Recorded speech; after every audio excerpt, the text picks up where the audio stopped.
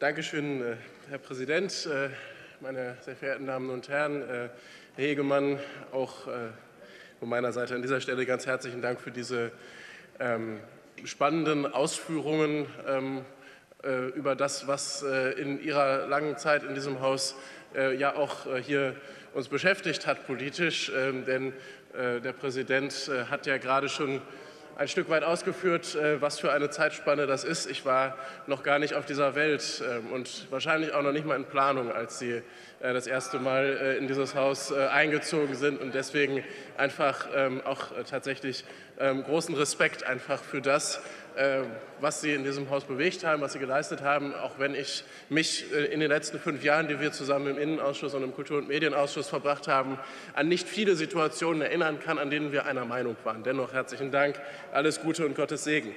Von da von da zu maschinenlesbaren Daten zu kommen, ist allerdings in der Tat ein sehr weiter Schritt. Ähm, wir haben in der ersten Lesung über die Defizite dieses äh, Gesetzentwurfs der Piratenfraktion äh, gesprochen, ähm, dass äh, uns an vielen Stellen nicht so ganz nachvollziehbar war, warum es diesen Gesetzentwurf jetzt kurz vor Toresschluss eigentlich noch braucht, ähm, was er auch verbessern könnte. Diese Bedenken sind auch im Innenausschuss äh, durch die antragstellende Fraktion nicht ausgeräumt worden. Äh, insofern bleibt es da bei den bekannten Argumenten ähm, aus der ersten Lesung, dass wir diesen Gesetzentwurf so nicht brauchen. Ich möchte aber auch an dieser Stelle die Gelegenheit nutzen, mich herzlich bei dem Kollegen Herrmann und auch seiner Fraktion zu bedanken für ähm, viele Impulse in, dieser, in der parlamentarischen Arbeit.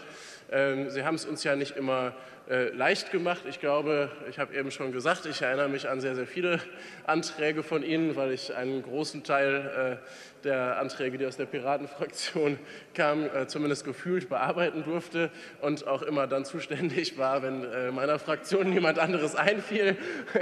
Also als Netzpolitiker ist man ja doch relativ nah dran. Insofern vielen Dank für äh, Ihre Impulse für unsere Arbeit äh, und auch Ihnen ähm, alles Gute. Ich, äh, viele von Ihnen haben, sich hier ja, haben Ihre Reden hier ja in den letzten Tagen beendet mit Auf Wiedersehen. Ähm, möglicherweise darüber entscheidet der Souverän in diesem Haus. Wenn nicht, dann mit Sicherheit an anderer Stelle. Vielen Dank. Vielen Dank, Herr Kollege Bolte.